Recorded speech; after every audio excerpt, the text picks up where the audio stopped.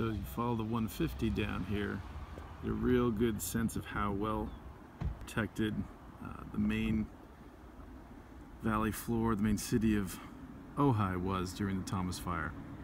All around, all these all these hills, Los Padres, everything is all burned, literally right down to the edge of the core of Ojai. Most of the roads in and out are, are burned either side, but yet this, this internal core uh, survived. So the firefighters did a great job in defending um, this key area.